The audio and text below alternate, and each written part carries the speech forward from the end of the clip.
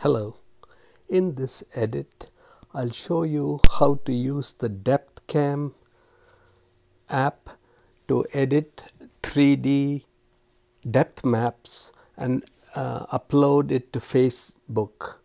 So first I'm going to my uh, camera roll and as you can see here I have a portrait. This was a foot of a George Washington statue I believe at the stock exchange. So this one I'd like to edit. So you can actually edit the photo using any app.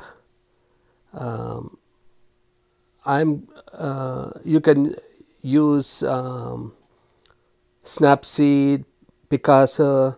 I'm just going to use BeCasso and I'm going to locate that image here. And I'm uh, you can apply different uh, artistic effects.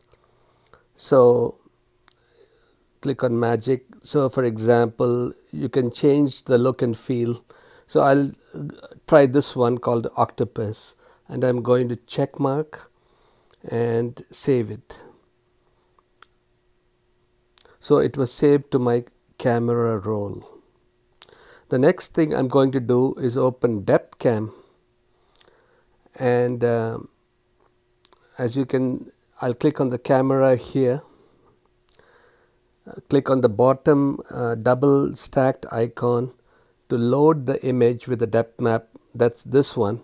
And when you load an image with a depth map it shows you uh, what the grayscale version is going to look like in the bottom and in the top it's going to show you the photo itself so I'm going to save which is in the bottom right down arrow and save depth map.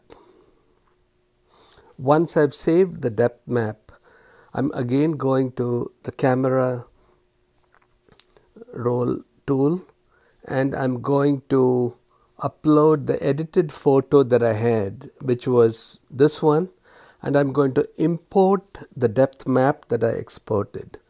So I go to import depth map and click on import once again and click here. The depth map looks like a flat gray shaded uh, pastels. Once you've got the sketch or whatever version you edited photo and you've got the original depth map below, you click on the down arrow at the bottom and say save Facebook 3D photo. Photo saved and then what we can do is go to Facebook, what's on your mind, click on 3D photo and you here you can see it creates a 3D photo out of the sketched version and that's all you need.